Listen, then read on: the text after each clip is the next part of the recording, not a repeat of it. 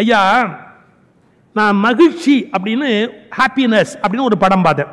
அது வந்து ஒரு டாக்குமெண்ட்ரி ஃபிலிம் வேர்ல்டில் இருக்கிற சைக்காட்ரிஸ்ட்டை எல்லாரையும் வச்சு ஒரு டிஸ்கஸ் பண்ணி அந்த ஃபிலிம் ப்ரொடியூஸ் பண்ணியிருக்காங்க. ஒன்றரை மணி நேரம் ஓடுது யூடியூப்பில் அவைலபிள் அது ஹாப்பினஸ் அப்படின்னு பேர் அந்த படத்தோட பேர். அதில் என்ன கம்யூனிகேட் பண்ணுறான் உலகம் முழுக்க இருக்கிற வெவ்வேறு நாடு வெவ்வேறு மதம் வெவ்வேறு இனம் எல்லா மக்களையும் கேட்டு உனக்கு லைஃப்பில் என்ன வேணும்? உனக்கு என்ன வேணும்? உனக்கு என்ன வேணும்? எல்லாருடைய ஒரே ஆன்சர் என்ன தெரியுங்களா? ஹாப்பினஸ் ஹாப்பினஸ் ஹாப்பினஸ் ஒருத்தன் ஜப்பானில் சொல்கிறான் ஒருத்தன் ஆப்பிரிக்காவில் சொல்கிறான் ஒருத்தன் தமிழில் சொல்கிறான் ஒருத்தன் இங்கிலீஷில் சொல்கிறான் ஹிந்தியில் சொல்கிறான் பட் எல்லாரும் ஒரே விஷயம் தான் சொல்கிறான் ஹாப்பினஸ் அவன் என்ன சர்வே எடுக்கிறான் தெரியுங்களா? How to achieve happiness world psychiatrist எல்லாம் சேர்ந்து அதுக்கு ஆன்சர் பண்ணியிருக்கிறான். அருமையான டாக்குமெண்ட்ரி ஃபிலிம் அதில் ஒரு ஒரு கடைசியாக ஒரு ஃபார்முலா சொல்கிறான் எல்லா மனுஷனும் ஆரம்பத்தில் என்ன நினைக்கிறான்? நிறைய பணம் சம்பாரிச்சுட்டா சந்தோஷம் கிடைக்கும் அப்படின்னு நினைக்கிறான். பட் ஒரு ஸ்டாட்டிஸ்டிக்ஸ் எடுத்து கணக்கு பார்த்தா ஒரு மனிதனுடைய வாழ்க்கையில் ஹாப்பினஸ் அப்படிங்கிறத நீங்கள் நூறு யூனிட்னு கணக்கு வச்சுக்கிட்டீங்கன்னா ஹாப்பினஸ்ங்கிறது ஒரு நூறு யூனிட்னு கணக்கு வச்சா ஒன்லி டென் பர்சன்ட் தான் பணத்தால் கிடைக்குதாம் எவ்வளவு முயன்றாலும் பணத்தால் வரக்கூடிய சந்தோஷம் லைஃப்பில் அப்படின்னு பார்த்தா டென் பர்சன்ட் தான். அதுக்கு மேலே ஹாப்பினஸ் அது கொடுக்காது. இன்னும் அதுக்கு மேலே அந்த பணம் சேர சேர அது பிரச்சனை தான் கொடுக்குமே ஒழிய அது ஒருபோதும் சந்தோஷத்தையோ திருப்தியோ தராது. ஒன்லி டென் பர்சன்ட் அவ்வளவுதான். அதுக்கு மேலே கிடையாது. ஆச்சுங்களா? அப்போ பாக்கி நைன்டி பர்சன்ட் என்னன்னு சர்வே எடுத்தான். செகண்டாக ஒரு ஃபார்ட்டி பர்சன்ட் பிரிச்சான் பாருங்க. அருமையானது. என்ன தெரியுங்களா? எப்போ ஹாப்பினஸ் கிடைக்கும் அப்படிங்கிறதுக்கு ஒரு விஷயம் சொல்கிறான் உனக்கு பிடிச்சவங்களோட நீ இருக்கணும். இல்லைன்னா ஒன்ன பிடிச்சவங்களோட நீ இருக்கணும். அதுதான் அதுக்கு மேலே ஒன்றுமே கிடையாது. ஒன் உனக்கு பிடிச்சவங்களோட நீ இருக்கணும். இல்லையா? ஒன்ன பிடிச்சவங்களோட இருக்கணும். நாற்பது பர்சன்ட் ஹாப்பினஸ் கேரண்டின் இப்போ சில பேர் கேட்பான் ஆஃபீஸில் நல்ல செக்ரட்டரி இருந்தால் பரவாயில்லை. சில பேர் முட்டாள்தனமா ஒய்ஃபையே ஆஃபீஸில் கொண்டு போய் செக்ரட்டரியாக வைப்பான். அவனை மாதிரி அவஸ்தைப்படக்கூடிய பாவி இந்த அகில உலகத்திலையும் எவனுமே இருக்க மாட்டான். கொஞ்சம் ம- மன்னிச்சுக்குங்க. என்ன இப்படிலாம் பேசுறாருன்னு. அங்கேயாவது கொஞ்சம் நேரம் நிம்மதியாக இருக்க வேணாமா? அங்கேயுமா அவஸ்தையை கொண்டு போய் வச்சுக்கிறது? நீங்க சம்பாதிச்சதை கொண்டாந்து கொடுத்துட்டு மரியாதையா போகலாம். அதுக்காக சம்பாதிக்கிற இடத்துலையும் அவளையும் கொண்டு போய் உட்காந்து வச்சுக்கிறதுக்கு பாருங்க நரகத்துல மிகப்பெரிய நரகமா போயிடும். நான் ஜென்ஸுக்கு மட்டும் இந்த யோசனை சொல்றேன்னு நினைக்காதீங்க. பெண்கள் சம்பாதிக்கிறதா ஹஸ்பண்டை உங்க ஆபீஸ்ல வச்சுக்காதீங்க. உங்களுக்கு சேர்த்தே சொல்லிட்டேன். இப்போ நான் சொன்னதில் ஒரு பாதி தான் சொல்லியிருக்கேன் இன்னும் ரொம்ப முக்கியம். என்ன? ஒய்ஃபை செக்ரட்டரியாக வச்சுக்கிறது எவ்வளோ பெரிய முட்டாள்தனம்னு சொல்லிட்டேன். அதை விட இன்னொரு சைடு இருக்கு. செக்ரட்டரிய நான் முதல்ல சொன்னது அசட்டுத்தனம் ரெண்டாவது சொல்றது அயோக்கியத்தனம். இது ரெண்டுமே நல்லது இல்லை இப்போ நம்ம மகிழ்ச்சியா இருக்கணும் அப்படின்னா யார் நம்ம கூட இருக்கலாம் அப்படின்னா நமக்கு பிடிச்சவங்க இருக்கணும். நண்பர்கள் நம்முடைய வெல் விஷஸ் நம்ம சொல்ற ஐடியாவை எக்ஸிக்யூட் பண்ணக்கூடியவங்க ப்ரொமோட் பண்ணக்கூடியவங்க டெவலப் பண்ணக்கூடியவங்க. இப்படி ஆமா நீங்க சொல்லி விளங்க போதாக்கும் அப்படின்னா ஒரு காரியம் பண்ண முடியாது இல்லையா? ஸோ நீ மகிழ்ச்சியா இருக்கணும்னா உனக்கு பிடித்தவரோடு இரு அல்லது உன்னை பிடித்தவரோடு இரு. இது அடுத்த ஃபார்ட்டி பர்சன்ட் இதுக்கு அடுத்த ஒரு ஃபார்ட்டி பர்சன்ட் ஒரு கணக்கு சொல்றான். என்ன தெரியுங்களா? உனக்கு என்ன விஷயம் பிடிச்சதோ அதை நீ செய்தியா பிடிச்ச விஷயத்தை செய்யறதால நாற்பது பர்சன்ட் அதாவது இப்போ எனக்கு சோளம் சாப்பிடணும்னு ஆசை போய் சாப்பிட்டு வந்துட வேண்டியதுதான். இப்போ எனக்கு சினிமா போகணுன்ற நினைப்பு போயிட்டு வந்துட வேண்டியதுதான். அதாவது அனாவசியமாக நீ நினைக்கிறத செய்ய முடியாது. ஸ்விம்மிங் போகணும்னு ஒரு நினைப்பு போக முடியாது சார். ஷெட்யூல் இடிக்கும். சுரதான்னு ஒரு கவிஞர் இருந்தார் தெரு வழியாக போயிட்டு இருந்தார் ஒரு அம்மா இழந்த பழம் வித்தது அமுத பாரதின்னு ஒருத்தர் கூட வந்தார். அமுத பாரதி அந்த இழந்த பழம் வாங்கு அப்படின்னார். அவர் சொன்னார் ஐயா எவ்வளோ பெரிய கவிஞர் நீங்கள் தெருவில் இருக்கிற இழந்த பழத்தை சாப்பிட்றதா? வேண்டாங்க ஐயா ஆசையை அடக்குங்கய்யா. அவர் சொன்னார் அமுத பாரதி இப்போ சாப்பிட்டா இழந்த பழத்தோடு போயிடும். சாப்பிட்றதுக்குள்ளே அது பரங்கி பழமாக மாறிடும். அதனால தயவு செய்து சொல்லு இப்போ வாங்கிட்டு பாருங்க மனசுல ஒரு ஆசையை போட்டுக்கிட்டே இருந்தால் அது பூதம் ஆகாரமாக பெருசாக வீங்கி போயிடும். தேவையில்லாமல் ஏன் கஷ்டப்படணும்? தெருவில் போகிற ஒரு பஜ்ஜி சாப்பிடணும்னு ஆசையாக இருக்கா? சரி சாப்பிட்டு போயிட்டாரு அடுத்த வழியை பார். அப்படி நமக்கு பிடிச்ச காரியத்தை செய்கிறது அப்படிங்கிறது மூலமாக தான் அடுத்த நாற்பது பர்சன்ட் பத்து பர்சன்ட் பணம் நாற்பது பர்சன்ட் பிடித்த நபர்கள் நாற்பது பர்சன்ட் பிடிச்ச வேலையை செய்வதால கடைசி பத்து பர்சன்ட் தான் ரொம்ப டாப் என்ன? அது என்னன்னே கண்டுபிடிக்க முடியல. அவன் அந்த பத்து பர்சன்ட் வித்தியாசமா சொல்லவே மாட்டேங்கிறான் உலகத்துல. எல்லாரும் மைண்ட்ல வச்சிருக்கிறான் ஆனா அது என்னன்னு வெளியில சொல்லவே மாட்டான். அதான் அந்த பத்து பர்சன்ட் தான். பட் எனிஹோ நாம் மகிழ்ச்சியாக இருக்கணும் சந்தோஷமாக இருக்கணும் அதுக்குரிய வகையில் எல்லா வகையையும் பயன்படுத்தவர் நிறைய பேர் இந்த நாட்டில் அது மாதிரியாக வெற்றி பெற்றவர்கள். பார்த்தீங்கன்னா நகைச்சுவையை அருமையாக கையாண்டவங்க இருக்கிறாங்க. இப்போ எங்கள் பேச்சு உலகத்தில் எடுத்துக்கிட்டிங்கன்னா எங்களுக்கெல்லாம் மூத்தவர் வாரியார் சுவாமிகள். ரொம்ப அதிகமான நகைச்சுவையை பேச்சில் கொண்டு வந்து வெற்றி பெற்ற பேச்சாளர் வாரியார் சுவாமிகள். அவருக்குன்னு ஒரு தனி இடம் உண்டு ஒரு தனி மரியாதை உண்டு. அவர் நகைச்சுவை எப்படின்னு கேட்டால் ரொம்ப சட்டிலாகவும் இருக்கும் புரிய வைக்க வேண்டியதை புரிய வைக்கிறதாகவும் இருக்கும். ஒரு உதாரணம் சொல்கிறேன் பாருங்கள் ஆஸ்திக சமாஜம் மயிலாப்பூரில் இருக்குது அப்போது பாலமுரளி கிருஷ்ணா புகழோட உச்சியில் இருக்கிறார். அவருக்கு ஐம்பதாவது பொன் விழா நடக்குது. ஆனால் பாலமுரளி கிருஷ்ணா விழாவில் ஒருத்தருடைய பேச்சு பேச்சு முடிஞ்சு ஒருத்தருடைய கச்சேரி. இப்படி நடக்குது வரிசையாக நடக்குது. வீணை பாலச்சந்தருக்கும் பாலமுரளி கிருஷ்ணாவுக்கும் அப்போ மோதல் இருந்துகிட்டு இருந்த காலம். இவர் ராகம் கண்டுபிடிச்சேன்னு சொன்னார். கிழிச்சே அப்படின்னு வீணை பாலச்சந்தர் அறிக்கை விட்டு ரெண்டு பேருக்கு தகராறு நடந்துகிட்டு இருந்த காலம். வாரியார் பேசி வாரியார் பேசினதுக்கு அப்புறம் ரமணி புல்லாங்குழல் புல்லாங்குழல் நிகழ்ச்சி. வாரியார் பேசிட்டு அடுத்து ரமணி புல்லாங்குழல் வாசிப்பாருங்கிறத சொல்றதுக்கு முன்னாடி ஒரு வார்த்தை சொன்னார் பாருங்க. பாலமுரளி கிருஷ்ணா உட்காந்துருக்காரு பாலமுரளி கிருஷ்ணா அவர்கள் இப்போ ரமணியை புல்லாங்குழல கூப்பிட்டுருக்கிறாரு. வாத்தியங்கள் இசைக்கருவிகள் தோல் கருவி துளைக்கருவி நரம்பு கருவி என்று மூன்று வகைப்படும். அதில் புல்லாங்குழல் துளைக்கருவி வீணை நரம்பு கருவி. நரம்பு கருவி கொஞ்சம் தகராறு பிடிச்சது. அது நரம்பு தானே முறுக்கிக்கும்னர். நரம்பு தானே முறுக்கிக்கும். அப்படி சொல்லிட்டு பாலமுரளி கிருஷ்ணாவை பார்த்து சொன்னார் அதை ரொம்ப ஜாக்கிரதையா கையாளணும். வீணைய வீணைய ஜாக்கிரதையா கையாளணும். மடியில் வைக்கும் போதும் கவனமா வைக்கணும் கீழே வைக்கும் போதும் கீழே வைக்கணும். இல்லாட்டி சுருதி பிசைக்கு போயிடும் இல்லையா? வீணையை ஜாக்கிரதையா கையாளணும். ஆனா புல்லாங்குழல் அப்படி இல்லை. இடுப்புலேயே சுருகிட்டு வரலாம். கூப்பிட்டத்துக்கெல்லாம் புல்லாங்குழல் வரும். வீணை வராது. எவ்வளவு நாசுக்கா? அவங்க ரெண்டு பேருக்கு இருக்கிற கருத்து வேறுபாடு சொல்லிட்டு இவர் ரமணி ஒத்து வராருங்கிற விஷயத்தையும் பாராட்டி ஒரு மிக நெருடலான விஷயத்தை அவ்வளவு அழகாக கம்யூனிகேட் பண்றார் வாரியார். இது கூட பெருசு இல்லைங்க. அதே ஆஸ்திரிய சமாஜத்தில் வாரியாருடைய பேச்சு இது மாதிரி ஒரு பெரிய கூட்டம் வந்திருக்கு. வீனஸ் ரத்னமையர் அதுக்கு தலைவர். வீனஸ் ரத்னமையர் சொல்றாரு இந்த சபையிலேயே நீங்கள்லாம் இவ்வளோ பேர் வந்துட்டீங்க.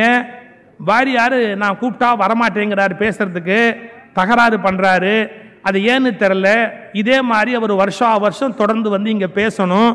அவர் தொடர்ந்து பேசணும் அப்படிங்கிறதுக்கு இங்கேயே இப்போ உறுதிமொழி கொடுக்கணும். இந்த ஜனங்க முன்னாடி அவர் உறுதிமொழி கொடு- இப்போ சேகர் கார்னர் பண்ணார் பார்த்தீங்களா?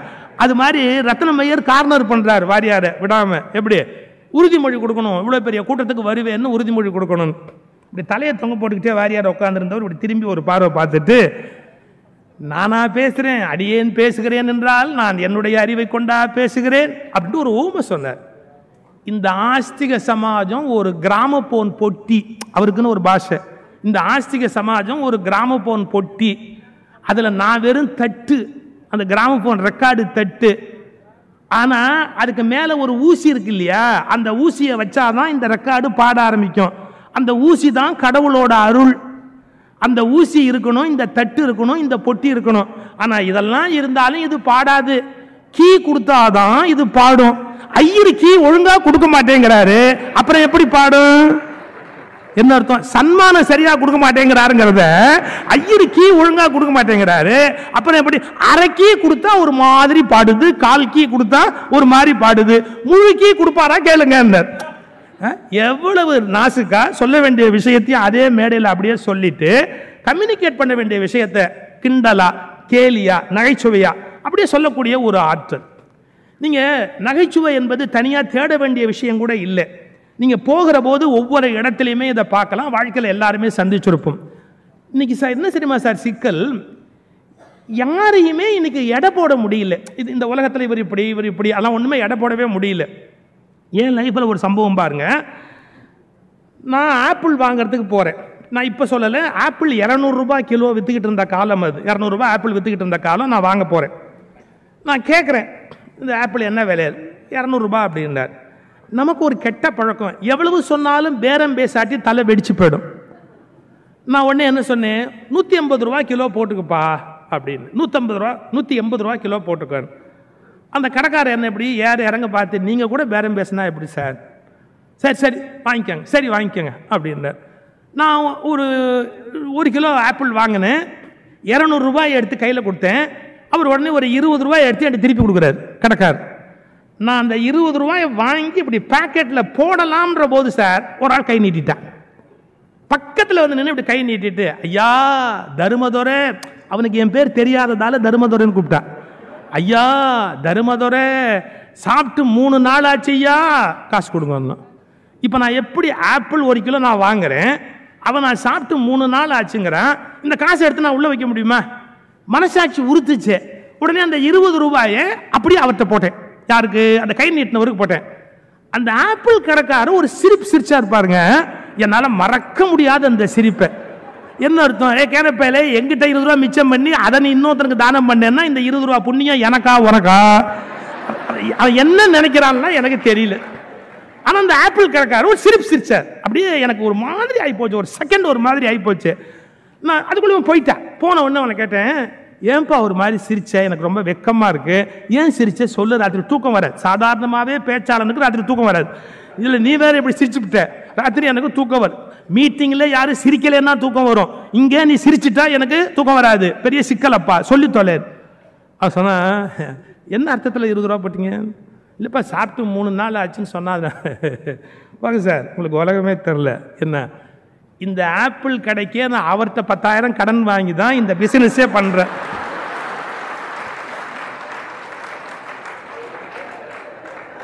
அப்படியே நான் போய் அதிர்ச்சியில் ஷாக்கான என்ன சொல் எங்கிட்ட இருபதாயிரம் ரூபாய் இருந்தால் அந்த பிஸ்னஸ் பண்ணலாங்கிறதுக்காக நான் அவர்கிட்ட தான் வாங்கியிருக்கேன். ரெண்டு வட்டி. வட்டிக்கு வாங்கி தான் இந்த பிஸ்னஸ் பண்ணுறேன் இந்த ஆள் இங்கேயே கொடுத்துட்டு கடையிலேயே உட்காந்து ராத்திரி வசூல் பண்ணிட்டு போடுவான். அவன் இங்கே வரவன் போகிறவன் பத்து இருபது பத்து இருபதுன்னு வர வாங்கி போகிறான் உங்களை மாதிரி இழிச்ச வாயினா நான் பார்த்ததில்லை சார்னு இன்னைக்கு நீங்கள் என்ன சொல்றது? இவன் நம்புறதா? நம்பாம இருக்கிறதா? இன்னைக்கு மனுஷங்களை நம்மளால புரிஞ்சுக்க முடியல. நம்ம மனுஷங்களை நம்மளால தெரிஞ்சுக்க முடியல. ஆனால் கொஞ்சம் ஆழமான உண்மை மனுஷங்களை நம்ம ஒன்று எடை போட்டு ஒன்று இந்த உலகத்தில் ஆக போகிறதுல வச்சுங்களேன். நான் அதுக்கப்புறம் என் மைண்டை ரொம்ப லைட் ஆக்கிட்டேன். என்னை பொறுத்த அளவில் அவருக்கு கொடுக்கணும்னு முடிவு பண்ணுறதோட என் கடமை முடிஞ்சு போச்சே ஒழிய அவர் நிஜமாவே இன்கம் டேக்ஸ் கட்டுறாரா கட்டலையாங்கிறத பற்றி எனக்கு என்ன கவலை? ஐயா நம்ம தென்கட்சி எங்க மறக்கவே முடியாது. அவர் பேரில் நீங்கள் ஒரு எண்டோமெண்ட் வச்சுருக்கிறீங்க. தென்கட்சி சாரை உலகத்தில் மறக்கவே முடியாது. தென்கட்சி சாரும் நானும் பேசிட்டு ஒரு மேடையை விட்டு இறங்குறோம். ஏதோ ஒரு கவர் கொடுத்தாங்க. அந்த விழாக்காரங்க ஒரு கவர் இப்படி கொடுக்குறாங்க. தெங்கச்சி சார்ட்ட அந்த கவர் கொடுக்குறாங்க. அந்த கவர் இப்படி கையில் வாங்கினாரு? வாங்கின ஒன்று கூட்டத்தில் அவரை சுற்றி ஒரு பத்து பேர் நிற்கிறாங்க அவங்க அவங்க கிட்ட கேட்குறாரு இந்த ஊரில் ஏதாவது ஆர்ஃபனேஜ் இருக்கா?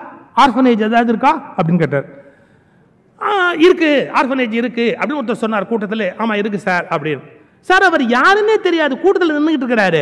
டக்குன்னு அந்த கவர் இந்த ஆர்கனைசர் எவ்வளோ கொடுத்தாரு என்ன ஏது ஒன்றுமே தெரியாது. அந்த கவர் அப்படியே அவர்கிட்ட கொடுத்து அந்த ஆர்கனைஜுக்கு கொடுத்துருங்க இதெல்லாம் சொன்னதுக்கப்புறம் நாங்கள் போய் காரில் ஏறுறோம். எங்கள் கூட இன்னொரு பேச்சாளர் வந்தார். அவருக்கு இப்போ போதாத நேரம். அவர் தங்கச்சியை கேட்டார் சார் சேரிட்டி பண்ணால் கூட அதை கொஞ்சம் ஒழுங்காக பண்ணணும் சார். இப்போ அங்கே ஒரு ஆர்ஃபனேஜ் இருக்கா இல்லையா நமக்கு தெரியுமா? இவன் ஏமாத்துறானா இல்லையா நமக்கு தெரியுமா? நீங்கள் அந்த சேரிட்டி பண்ணுறதா இருந்தாலும் அந்த ஆர்கனைசேஷனுக்கு கரெக்டாக அந்த பணத்தை அனுப்பணுமே ஒழிய ஒருவேளை இவன் கொடுக்காமே இதை எடுத்துட்டான்னா அந்த பேச்சாளர் கேட்டார். தெங்கச்சி சொன்னார் பாருங்க இவன் ஒரு அனாதைன்னு அர்த்தம். சார் இதை விட சிம்பிளாக லைஃப்பை யாராவது பார்க்க முடியுமா? என்னை பொறுத்த வரைக்கும் அனாதைக்கு கொடுக்குறதா இருந்தேன் அவன் கை நீட்டிட்டான் அனாதை தான் அர்த்தம். இதை விட்டுட்டு நான் கொண்டு போய் அங்கே கரெக்டாக கொடுத்தனா இல்லையான்னு ராத்திரி முழுக்க தூங்காமல் இருக்கிறதா? இது முக்கியம் என்ன தெரியுங்களா? கொடுக்க வேண்டும் என்ற எண்ணம் தான் முக்கியமே ஒழிய அவன் ஏமாற்றுகிறானா இல்லையா என்பதை பற்றி கவலைப்பட்டால் அது ஒரு திட்டமிடுகிற வேலை. அது வந்து ஸ்பான்டேனிட்டி இல்லை அல்ல. ஸ்பான்டேனிட்டிக்கு டோட்டலாக இல்லாமையே போயிடுது. பேகன் வந்து மயிலு கொடுத்தான் பாரி வந்து முல்லைக்கு தேர் கொடுத்தான்னா ஸ்பான்டேனிட்டி டக்குன்னு அப்படியே தோணுது. அப்படியே கொடுத்தா அப்படியே போயிட்டே இருக்கிறான். ஸோ தானம் பண்ணும்போது சேரிட்டி பண்ணும்போது அந்த ஸ்பான்டேனிட்டி தான் ரொம்ப இம்பார்ட்டன்ட்டே ஒழிய நிஜமாவே நல்லவனா கெட்டவனா ஏமாத்துறானா இதெல்லாம் பற்றி உலகத்தில் கவலைப்பட்டு இருக்க முடியுமா? முடியாது. இன்னொன்று நம்முடைய ஐயா ரா- நம்முடைய நாகராஜன் அவர்களோட ஒரு கருத்து சொன்னார். இது மாதிரி ராமராஜ் காட்டனுடைய ஒவ்வொரு ஷோரூம் திறப்பு விழாலையும் முதல்ல என்னை பேச வைப்பார். முதல் நாள் ஒரு வேதாத்ரி மகரிஷினுடைய உறவுகள் மேம்பட அப்படிங்கிற ஒரு கான்செப்ட் ஒரு பதினெட்டு விஷயம் மகரிஷி ரொம்ப அழகாக சொல்கிறார் லைஃப்பில் நம்ம ஒருத்தரோட ஒருத்தர் பீஸ்ஃபுல் ரிலேஷன்ஷிப் ஒருத்தருக்கு ஒருத்தர் அந்த உறவுகளை வளர்த்துக்கிறதுக்கான ஒரு பதினெட்டு கட்டளை மாதிரி ஒரு அழகான விஷயம் சொல்கிறார் அதை சொல்கிறதுக்கு எனக்கு ஒரு வாய்ப்பு கொடுத்து ஒவ்வொரு முறையும் சொல்ல சொல்வார். நான் நானும் ஒரு முப்பத்தி ரெண்டு தடவை பேசியிருப்பேன்னு நினைக்கிறேன். முப்பத்தி ரெண்டு தடவை அதே தலைப்பிலேயே நான் பேசியிருக்கேன்னு நினைக்கிறேன் தொடர்ந்து. ஆனால் ஒவ்வொரு முறையும் நான் ஒன்று யோசிச்சு யோசிச்சு சொல்லுவேன் இது மாற்றி மாற்றி ஏதாவது ஒன்று வித்தியாசமாக சொல்லணும். ஏன்னா இவர் ஒருத்தர் கண்டினியூஸாக எனக்கு ஆடியன்ஸாக கூட வந்துக்கிட்டே இருக்கார். அப்போ இவர் நினைப்பார்ல இது என்னடா இவர் அங்கே விட்டதே எங்கே விடுறாரு இங்கே விட்டதை அங்கே விடுறாரு அப்படின்னு. இந்த ஒரு மனுஷனுக்காக நான் யோசிச்சு யோசிச்சு யோசிச்சு யோசிச்சு யோசிச்சு பேச வேண்டியது. எனக்கு பெரிய அவஸ்தை இவர். எல்லா ஊர்லேயும் இவர் வந்து உட்காந்துடுறாருல்ல சரி போங்க. அதில் எனக்கு ஒரு நன்மை வச்சுக்கோங்களேன். இப்போ அதை வச்சு ஒரு புஸ்தகமாக எழுதுறேன். நிறைய பேசிட்டதால அதெல்லாம் சேர்த்து வச்சு இப்போ ஒரு புஸ்தகமாக நான் எழுதிக்கிட்டு இருக்கிறேன். அது இருக்கட்டும் அப்படியே இருக்கட்டும். நீங்கள் ஒரு ஆயிரம் காப்பி வாங்கிக்கணும். சும்மா சொன்ன பயந்துடாதீங்க. அதாவது ஒரு- ஒரு ஒரு வார்த்தை வரும் சார். எனக்கு ரொம்ப பிடிச்ச வார்த்தை. சில நேரங்களில் சில சில சங்கடங்களை சகித்துக் கொண்டுதான் ஆக வேண்டும் என்பதை புரிந்து கொள்ளுங்கள். சின்ன விஷயம். நம்ம என்ன நினைக்கிறோம் தெரியுங்களா?